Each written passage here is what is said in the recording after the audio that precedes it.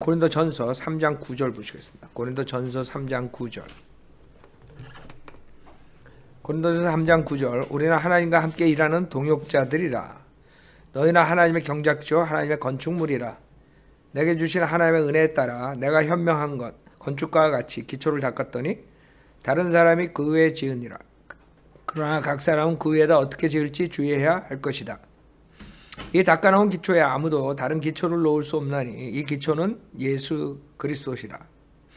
자 지금 그 주님의 사역에 대해서 에, 말씀하신 거죠. 여기서 우리가 아, 하나님과 같이 일하는 동역자라는 거예요. 동역자.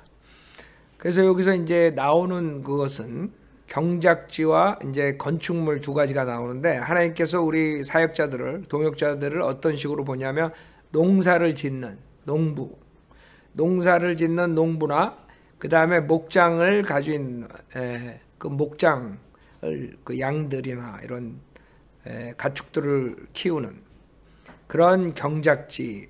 그 다음에 건축물은 이제 에, 그 건축가들이죠. 목수들 에, 건물 짓고 이런 사람들. 그래서 우리가 함께 그것을 지어나간다 이거예요. 그래서 요게 기초를 얘기를 하는데 10절에 내가 주신 하나님의 은혜에 따라 내가 현명한 건축가와 같이 기초를 닦았더니 다른 사람이 그 위에 지으니라. 그러니까 각자가 다 하는 에, 그 사역이 틀리다는 거죠. 지금 사도 바울은 자기가 기초를 닦았다 그러고 그 다음에 다른 사람들 기초 닦은 데에다가 건물을 짓는다는 거죠. 그러나 각 사람 그 위에다 어떻게 지을지 주의해야 할 것이다. 그랬어요. 그러니까 각자가 자기가 맡은 그 분야를 어떻게 해야 되냐. 그건 자기한테 달린 거예요. 어떤 사람들은 엉터리로 그냥 게으름 피우는 사람들은 그냥 건성건성 할 수가 있죠. 그러다 보면 건물이 무너져 내린다고요. 그 다음에 어떤 사람들은 아주 꼼꼼하게 하고 잘하고. 그러니까 각자가 틀려요. 그러니까 하나님께서는 그 수고에 따라 자기의 상을 받을 것이라 그랬어요. 그렇기 때문에 모든 사람이 다 똑같이 동역자지만 어떤 식으로 어떤 방법으로 했는가에 따라서 그 상이 다 틀리다는 거죠. 그래서 우선은 주님과 함께하는 동역자라는 것을 알아야 되고 그 다음에 우리가 농사 짓는 그 다음에 목장을 간소하는 그 다음에 건축을 짓는 그 세 가지 역할을 해야 되는데 우리가 어떤 식으로 해야 되느냐 그 다음에 어떤 기술을 가지고 해야 돼요. 각자가 달린 거예요. 하나님께서 이제 거기에 따른 은사를 주시고 거기에 따른 직분을 주시고 뭐 여러 가지 주시겠죠. 근데 문제는 그거를 받았을 때 내가 어떻게 하느냐에 따라서 그 결과가 틀려지는 거예요.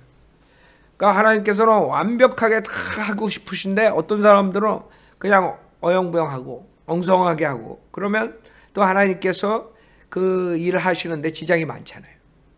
우리가 사역할 때도 어떤 사람들은 열심히 진지하게 임하는 사람도 있고 어떤 사람은 건성건성하고 그러면 열매는 다 틀린 거예요. 만약에 교회가 한 몸이 돼가지고 다 똑같이 열심히 하면 그 교회 열매는 많이 나오는 거지만 어떤 사람은 하고 어떤 사람은 안 하고 그 열매는 그만큼 줄어드는 거예요. 그러니까 결과는 다 우리가 어떻게 하느냐에 달린 거죠.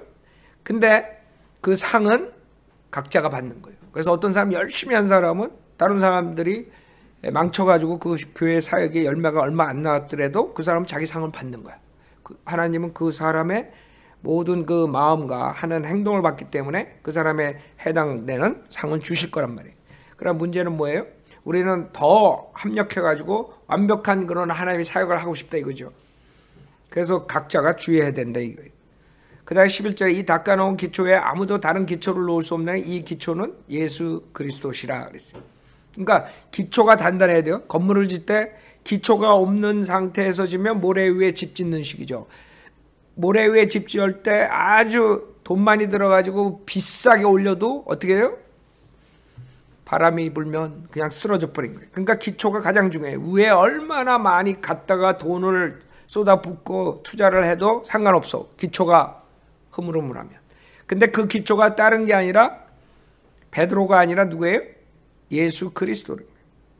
그러니까 지금 캐톨릭은 베드로가 기초고 그 다음에 사람들은 거기다 싸니까 어떻게 되겠어요? 그 교회는 그냥 망가지는 거, 무너져 버리는 거예요. 마귀의 교회가 되는 것이라고요.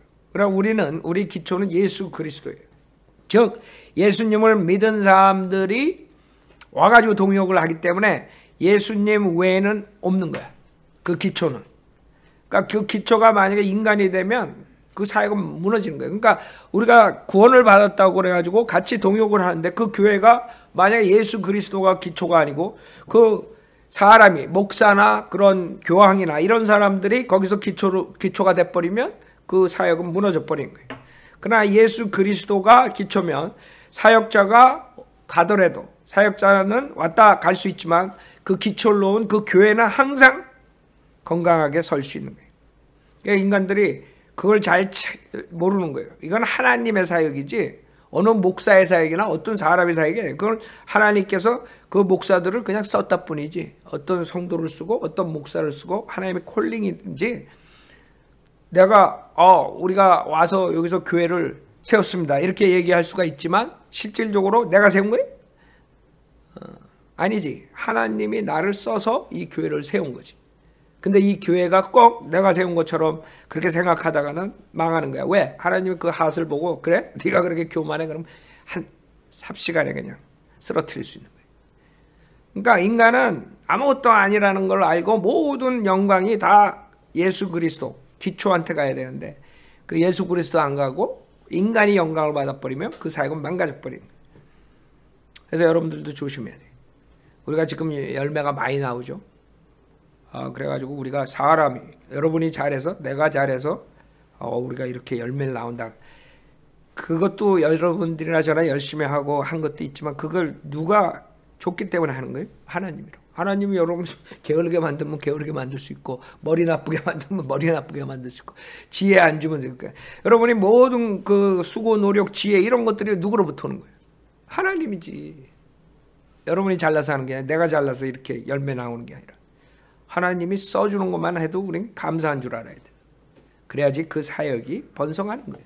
그러지 않으면 하나님께서 언제든지 그걸 셧다운 시킬 수가 있는 거예요. 여러분들은 항상 그 기초는 예수님입니다. 우리 교회 이거 누가 세웠냐? 어, 김경원 목사가 3천 마일 드라이브 해가지고 혼자서 세웠다. 아니지. 김경원 목사를 써서 이 교회를 예수님이 지으셨다. 하나님이 만드셨다 이거죠. 이 교회는 하나님 거지. 김경환 목사 거가 아니죠. 김경환 목사는 왔다 갈 수 있는 거예요. 어, 그 다음에 또 다른 사람이 와서 주님이 늦게 오시면 또 다른 사람이 와서 또 이 교회를 하나님 콜링 받는 사람이 와서 또 하는 거예요. 그러니까 인간 아무것도 아니야. 왔다 가는 거예요. 예. 자, 12절. 이제 누구든지 이 기초 위에 금이나 은이나 보석이나 나무나 짚이나 구루토기로 지으면 각 사람의 일한 것이 나타나게 되리니 그날이 그것을 밝힐 것이라. 이런 것이 불로써 드러나고 또 그 불은 각 사람의 일한 것이 어떤 종류인지를 시험할 것이기 때문이라. 만약 어떤 사람이 일한 것이 세운 그대로 있으면 그는 상을 받을 것이요. 만약 어떤 사람이 일한 것이 불타버리면 그는 손해를 당하리라. 그러나 그 자신은 구원을 받게 되지만 불에 의해서인 것처럼 그렇게 되리라. 자, 이건 그리스도의 심판석에 대한 거죠. 자, 우리는 그 기초에다가 이제 사역을 같이 동역을 하는 거예요.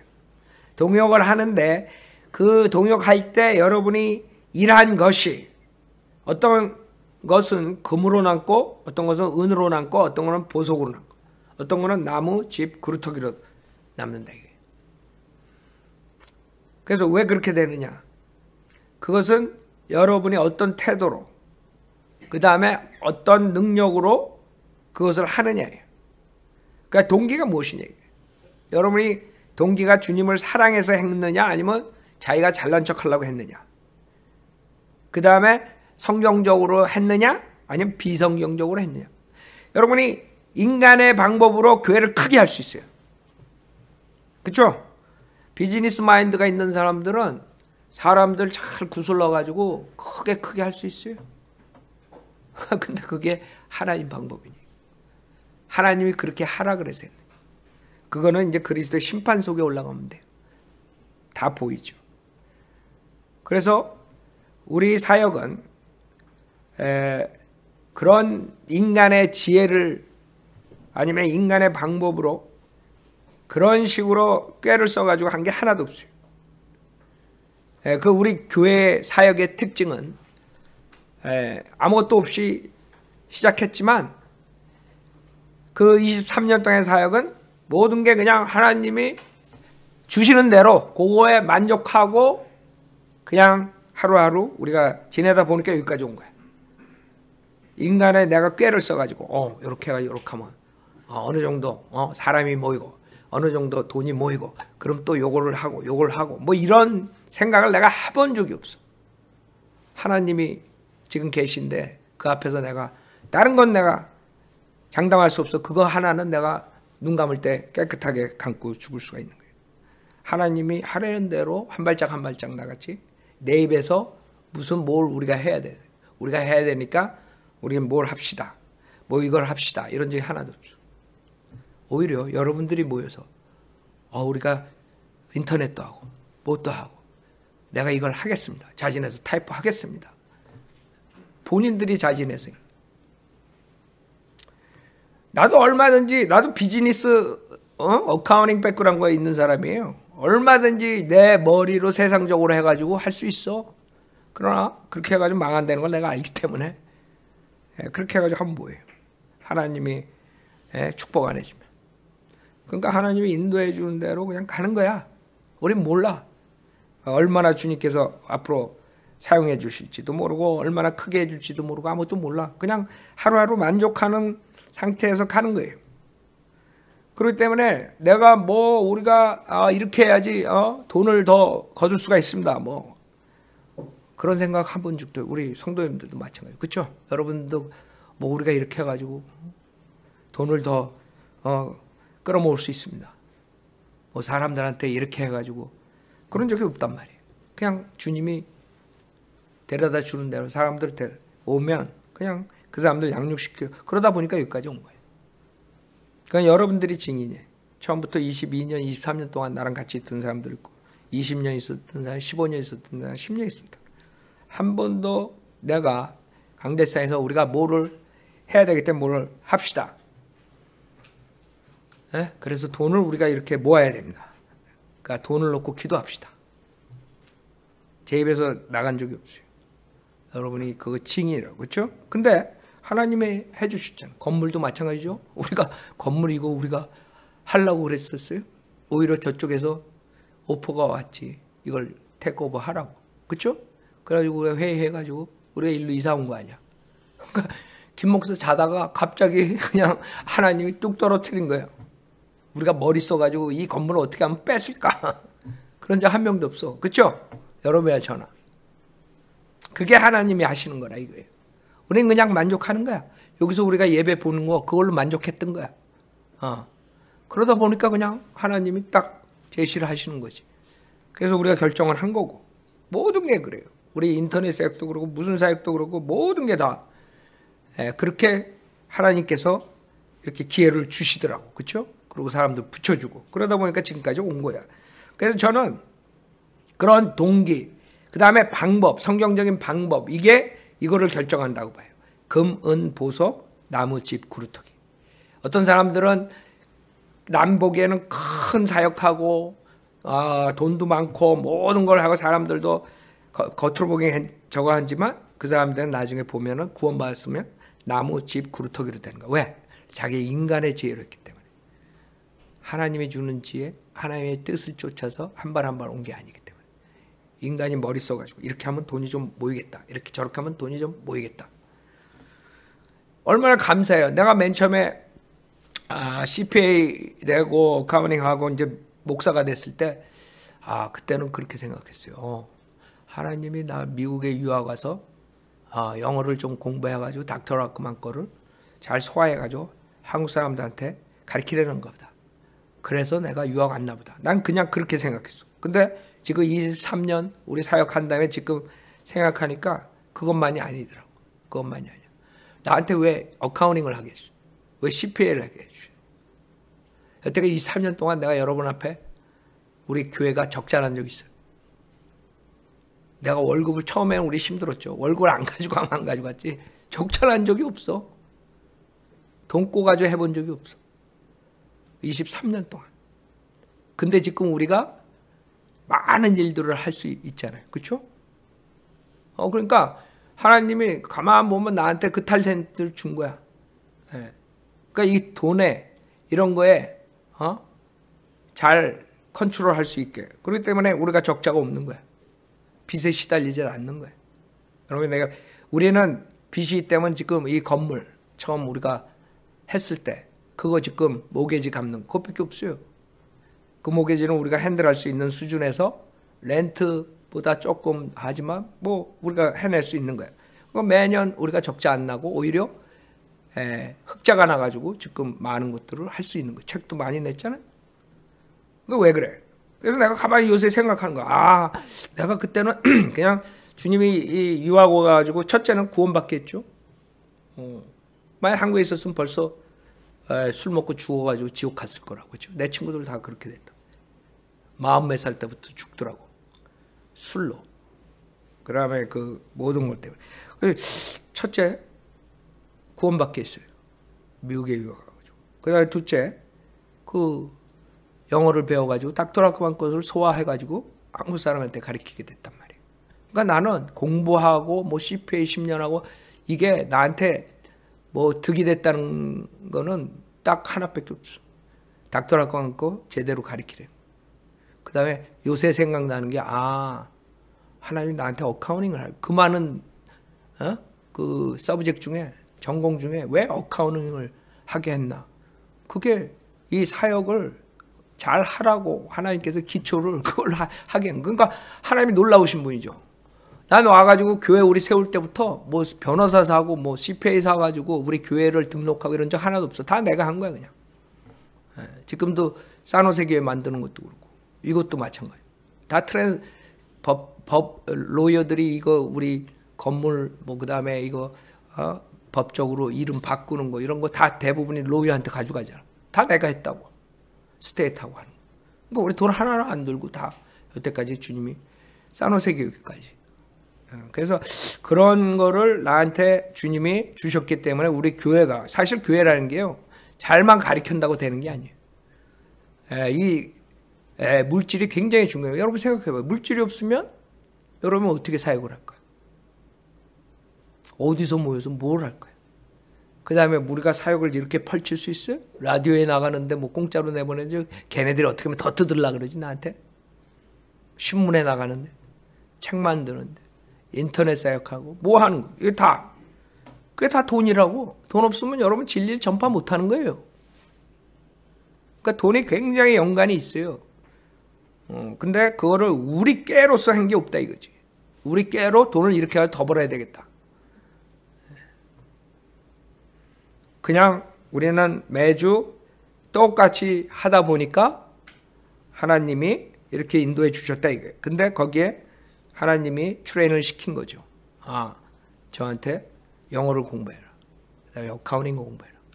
그게 지금 와서 보니까 우리 교회가 이렇게 단단하게 되는 그 거름이 된 거예요. 그러니까 이 모든 것들은 주님의 방법대로 그냥 하는 거예요. 그러면 여러분은 금은 보석으로 남는 그러니까 저, 여러분이 저랑 같이 동참했어요. 저랑 똑같은 마음을 가지고 동기를 가지고 동참한 사람들은 이제 그리스도의 심판 속에서 금은 보석으로 남는 거예요.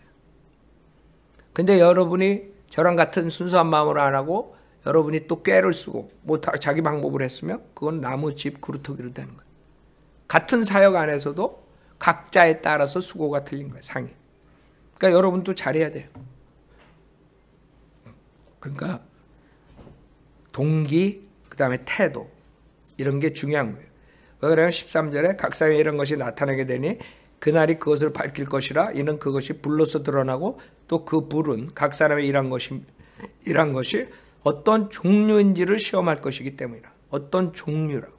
그러니까 어떤 크기의 사역을 했는가, 어떤 얼만큼 네가 사역했는가 이게 아니라고. 그러니까 여러분이 얼만큼 보다 어떤 종류, 질이라고 질, 양보다 질. 질. 그러니까 조그만 사역이라도 정말 순수한 마음으로 주님을 사랑하는 마음으로서 자기가 희생하면서 했으면 그거는 금은 보석으로 남는 거예요. 하는 방법대로 했습니다. 근데 암만 크게 했어도 만약에 그것이 자기의 그 뜻이나 비성경적인 교리를 가리킴으로써 사람들이 모여들었다. 이랬을 때는 없는 거야. 그래서 어떤 종류, 예, 사랑으로 여러분이 정말 자기의 이득 없이 셀피시한 이유 없이 사랑으로 섬겼는 거야. 주님을 사랑하면서 섬기는 거야. 그게 가장 중요한 거예요. 그러니까 여러분이 항상 내가 이거 지금 하는데 내가 교회 나가는데 왜 나가냐? 김 목사가 전화 걸까봐 나가느냐? 내가 거리 설교 나가는데 왜 나가느냐? 아, 내가 지금 인터넷 사역하는데 왜 하느냐? 아, 내가 뭐 하는데 교회 일을 하는데 왜 하느냐? 주님을 사랑해서 해요. 그럼 금은 보석으로 남. 근데 괜히 프레셔 때문에 사람들 피어 프레셔 때문에 할 수 없이 나가고 이런 건 나중에 가면 죽어라고 일하고 나무 집 구루터기로 불에 다 거예요. 자 여기서 금, 음, 보석이 뭐예요? 금은 뭐예요? 금은 가장 비싼 거죠. 이 세상에서. 그래서 하늘나라에서도 가장 고귀해요. 그래서 여러분들이 새 예루살렘 가면 금으로 깔려있다고. 예. 여기에 세상에 있는 것은 하늘에 있는 것의 그냥 단편이야. 그 금은 가장 고귀한 거야. 금은 뭘 상징하냐면 예수 하나님의 신성을 말하는 거예요. 그래서 금으로 한 것들이 많죠 성전에. 하나님의 신성을 deity를 얘기하는 것이요. 그것은 가장 높은 거예요. highest. 즉 여러분들이 금으로 남, 남으려면 첫째 예수님 예수님이 하나님이라는 거. 신성. 예수님의 하나님 신성을 강조하는 사람들. 신성을 프리치하는 사람들. 신성을 얘기하는 사람들. 예수님의 신성, 예수님의 하나님이라는 것을 믿고 자기만 믿을 뿐만 아니라 그것을 사람들에게 가르치고 알리는 사람들. 그 다음에 예수님을 가장 높이 하나님으로 여러분이 놓은 사람들. 뭘 할 때 예수님을 제일 위에 놓고 그 다음에 여러분, 남, 뭐 이렇게 가정, 사회 다 예수님 밑에다 놓죠. 그 사람들이 금으로 남는 거예요. 근데 예수님 위에다가 와이프를 두고 허즈번을 두고 자식을 두고 직장을 두고 뭘 두고 여기 다 아니죠. 금으로 남으려면 예수님이 첫째여야 돼. 그 다음에 예수님이 하나님이란 거 계속 사람들한테 얘기를 해줘야 돼. 여러분들이 지금 기존교에서는 예수님이 하나님인지 몰라요. 그냥 하나님의 아들 그러니까 하나님의 아들 아버지보다 좀 낮은 가신 줄 알아. 뭐 이상하게 생각. 그러나 하나님은 세 인격체 한 분의 하나님으로. 즉 예수님도 하나님, 아버지도 하나님, 성령도 하나님. 그러니까 예수님이 하나님이라 그러면 한국 사람들은 여러분 눈 크게 뜨고 봐 다시. 처음 본 거죠. 처음 들은 거죠. 왜 그래요?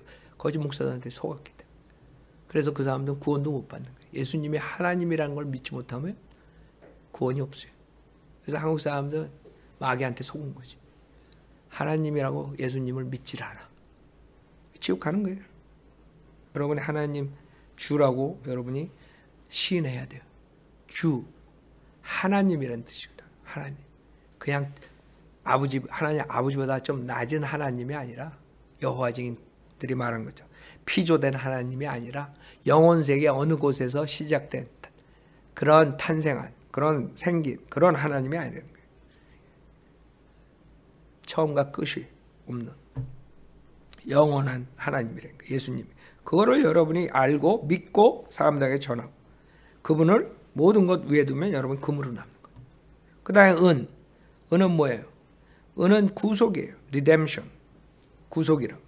그렇기 때문에 구약에 보면 그 사람의 그 사람 대신에 은으로 돼요. 예수님 팔아먹을 때도 뭘 봤어요? 은.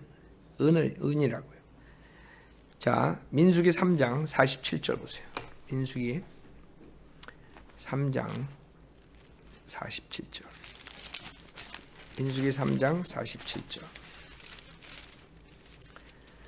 너는 명단대로 한 명에 다섯 세켈씩 받되 성소의 세켈에 따라 받을지나 한 세켈은 20계란이라. 너는 나머지 사람들 구속할 돈을 아론과 그의 아들들에게 줄 것이니라 하시더라. 구속, 구속이라. 레인들에게 구속한 사람들 초과한 수의 속전을 모세가 취하였으니 이스라엘 자손의 첫째로 난 자들에게서 그가 받은 돈이 성소의 세켈대로 1365 세켈이더라. 모세가 주의 말씀에 따라 구속했던 그들의 돈을 아론과 그의 아들들에게 주었으니 주께서 모세에게 명령하신 대로더라. 구속이에요. 그 다음에 레위기 27장 레위기 27장 레위기 27장 레위기 27장.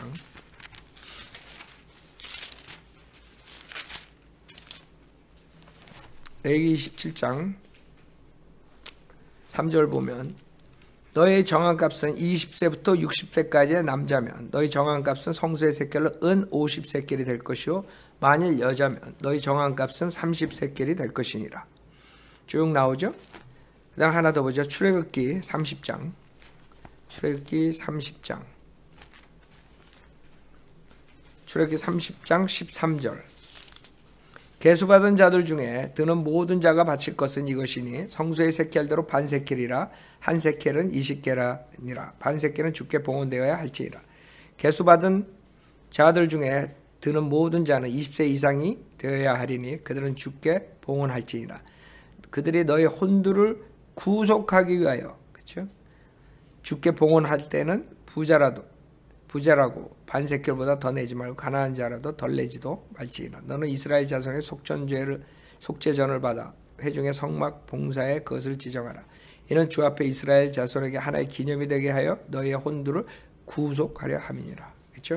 그래서 은은 구속이에요. 리뎀션. 그래 가지고 여러분들이 구원받고 난 다음에 많은 사람들을 구령해 가지고 주님께 데려오면 여러분이 그 구속에 대한 그것을 폐하는 거예요. 나중에 은으로 남는 것이. 여러분이 거리에 나가서 그 구속에 대해서 설교할 때, 예수의 피에 대해서 설교할 때, 전할 때, 하나님의 구원 계획에서 전할 때, 이런 것들이 은으로 남는 것이. 순수한 마음으로 여러분이 하나님의 복음을 전했다. 예수 그리스도의 보혈을 전했다. 얼마나 여러분들이 했느냐에 따라서 은이 얼마나 쌓이느냐. 그렇게 되는 것이에요. 그 다음에 보석. 보석은 뭐예요? 사람이에요. 사람. 성경에서. 말라키 3장 17절 보세요. 말라키 3장 17절. 말라키 3장 17절.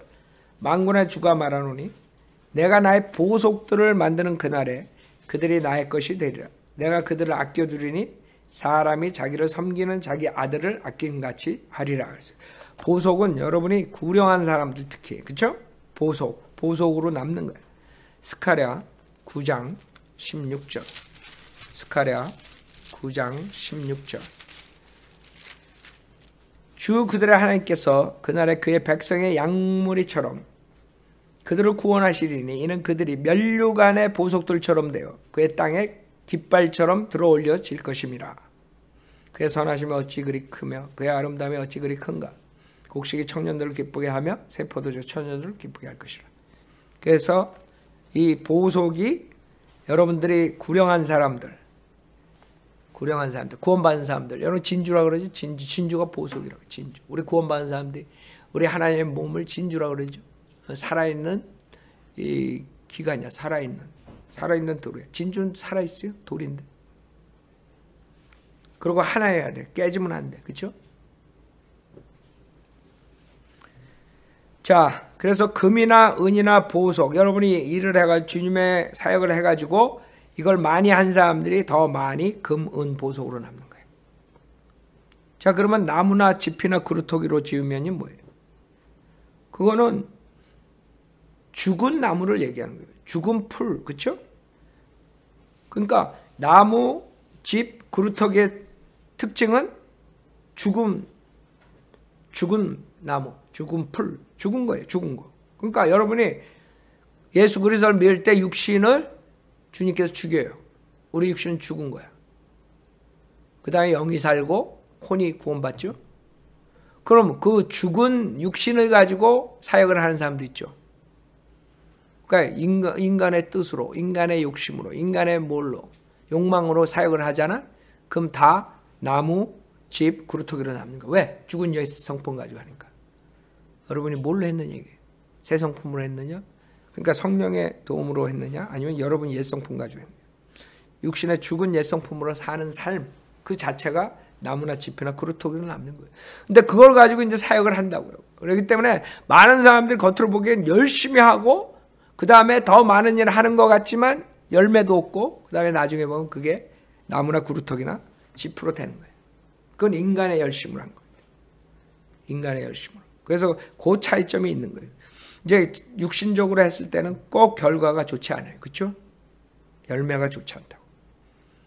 육신의 죽은 옛성품으로 그런 거를 우리가 하질 않아야 돼. 그러려면 어떻게 해야 돼요? 성령님 하나님 말씀대로 해야 돼. 성경적으로. 그 다음에 성령님께 물어보고 내 육신을 죽이고 성령님을 쫓아서 하면 나무나 짚이나 구루터기로 되지 않겠죠. 그 인간의 육신의 욕망으로 욕심으로 사역을 하지 않으면 되겠죠. 순수하게 예수님을 사랑하는 마음으로 하나님을 사랑하는 마음으로 했다면은 사역을 했다면은 금은 보석으로 남는 것이. 자, 이 그리스도의 심판석은 고린도 후서 5장 보세요. 고린도 후서 5장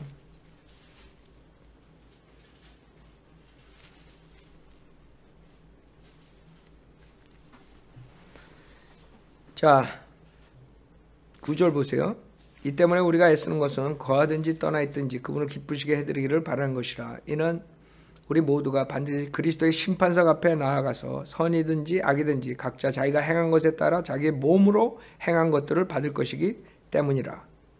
그러므로 우리가 주의 두려우심을 알기 때문에 사람들의 권유하노라. 그러나 우리가 하나님께 나타내어 졌으며 나는 또 너희 양심에도 나타내어 졌으리라 믿노라. 그래서 이 그리스도의 심판석에 나가서 어떤 식으로 우리가 구원받고 난 다음에 주님을 섬겼는가 거기에 선이든 악이든 각자가 행한 것에 따라 받는다 이거. 그러니까 여러분들이 하나님의 사역을 한 것도 그렇지만 또 악한 짓을 한 것도 다 드러나게 되는 거예요. 그래서 주를 두려야 하는 거예요. 11절에 주의 두려우심을 알기 때문에 그러니까 여러분들이 그리스도의 심판석을 생각해야 돼요. 어떻게 될지 몰라. 그래서 여러분들 16절 여기 고린도후서 5장 16절처럼 이런 식으로 하면 결국에는 남는 게 없는 거예요. 그리스도 심판석에 16절에 그러므로 우리가 이제부터는 아무도 육신을 따라 알지 아니하노라. 비록 우리가 육신을 따라 그리스도를 알았대도 이제는 더 이상 그분을 그렇게 알지 아니하노라. 그러니까 육신과 그다음 영적인 것을 갈려야 돼요. 여러분이 행했을 때 육신적으로 행했느냐 아니면 영적으로 행. 거기에 따라서 여러분들이 그리스도의 심판석에 서야 돼요. 그 다음에 로마서 14장, 로마서 14장 10절 보세요. 거기도 그리스도의 심판석이 나와요. 로마서 14장 10, 10절에 보면 그런데 너희 어찌하여 너는 어찌하여 내 형제를 판단하느냐 어찌하여 내 형제를 업신여기느냐 우리가 모두 그리스도의 심판석 앞에 서리라 했어요. 그러니까 구원받은 사람들만 말을 우리 모 우리가 모두 그리스도의 심판석 앞에 서리라. 변경된 성경은 이걸 하나님으로 변개시켰어요. 하나님 심판석. 그래서 한국 사람들은 그리스도의 심판석이 뭔지 몰라요. 대부분의 한국 사람들은 마지막에 있을 백보자 심판을 하나님의 심판대라 생각하고 그것만 생각해요. 왜? 성경이 변개됐기 때문에.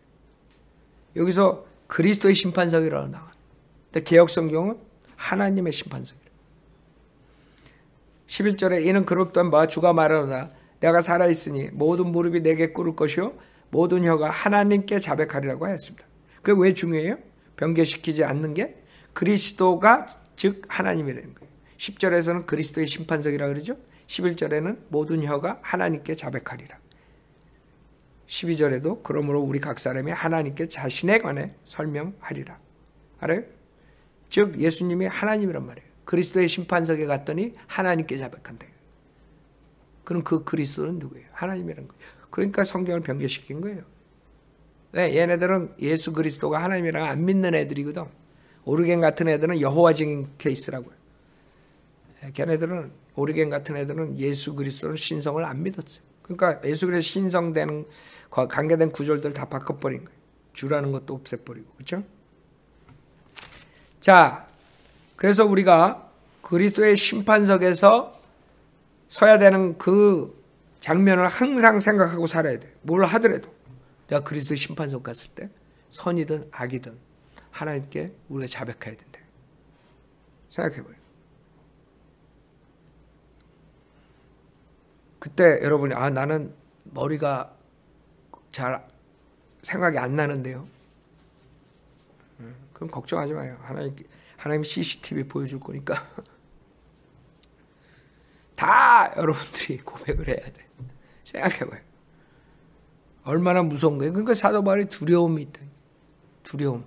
두려움으로 주님을 섬긴다는 거. 왜? 다 드러나니까. 그리스도의 심판 속에서. 사람들이 인간은 속일 수 있어요. 인간을 속이고 별짓들 다 할 수 있죠. 그러나 하나님 못 속이는 거야. 하나님 두려움으로 그래서 사도 바울이 섬겼다는 거예요. 왜? 그리스도의 심판석을 생각합니다.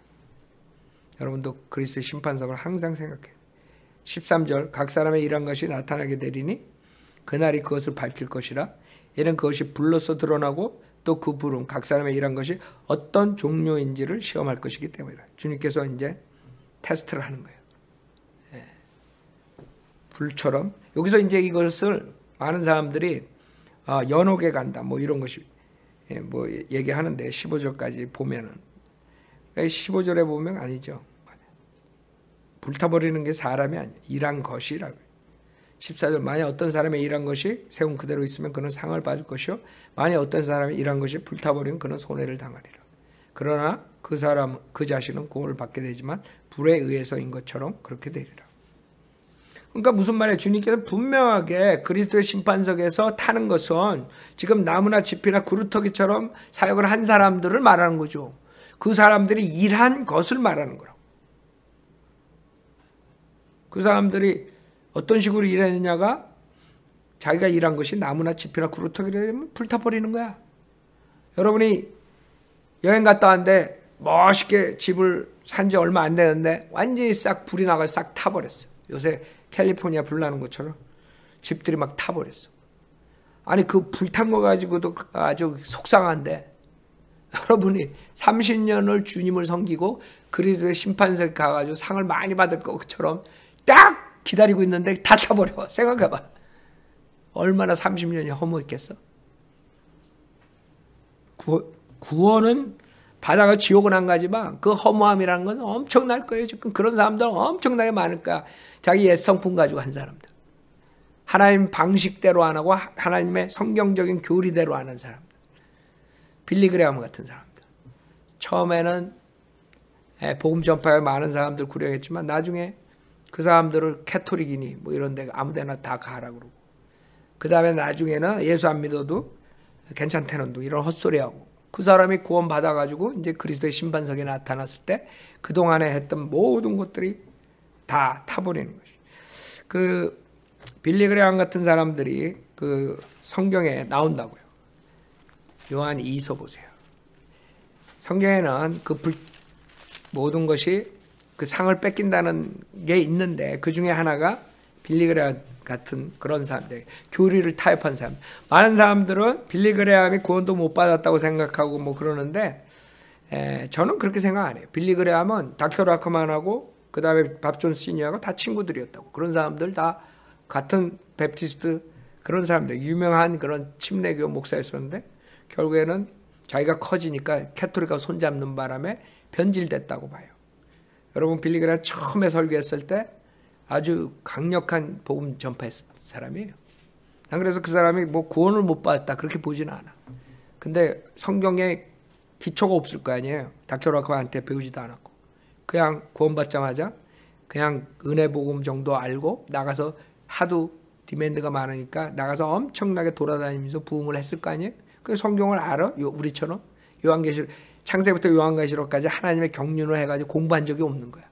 그러니까 처음에 나가서 했을 때는 막 강력하게 했는데 시간이 가면 갈수록 성경에 그런 행위 구원들이 나오고 뭐 이러니까 헷갈리는 거예요. 헷갈리는 데다가 에라 복음만 전하면 되지. 그리고 카트로가 손을 잡아버린 거예요. 그래서 하나님이 완전히 어둡게 만들어버려요. 나는 그렇게 봐요. 사람이 어렵게 될 수 있어요. 왜? 성경을 모르면. 그래서 여러분들이 기초로 우리가 기초 공부하고 3년에 걸쳐 3년 넘게 걸쳐서 우리 교회 오면 교리 공부 시키는 거예요. 그거를 알면 절대로 빌리그램처럼 나중에 헛소리 안 한다고. 예수를 안 믿어도 뭐 어쩌고 저쩌고. 그렇게 헛소리를 안 한다고. 근데 그 사람이 왜 나중에 헛소리를 해요? 나이가 먹을수록? 자기도 헷갈리는 거야. 자기가 정말 가르쳤던 그 은혜 복음이 이제 흔들려 버리는 거예요. 기초가 없으니까. 그렇다고 그 사람 구원을 잃어버리겠어요? 잃어버리지 않죠. 근데 그런 사람이 그리스도의 심판석 갔을 때 이제 요한일서 7절에 보면 많은 매혹하는 자들이 세상에 들어왔나니 그들은 예수 그리스도께서 육신으로 오신 것을 신하지 않는 자들이라. 이것이 미혹하는 자여 적그리스도라. 너희 자신을 돌아보라. 이는 우리가 이루어 놓은 것들을 잃지 아니하고 즉 처음에 빌리그레아 1940년대에 엄청나게 그 은혜 복음으로써 40년 50년에 그냥 떴죠. 그때 얻어놓은 상들이 있을 거야. 근데 잃지 아니하고 온전한 상을 받으려는 것이라 그랬다. 그러니까 잃어버릴 수 있다는 거예요. 상을. 에? 예? 그래서 어떤 어떤 때 잃어버리느냐 이거예요.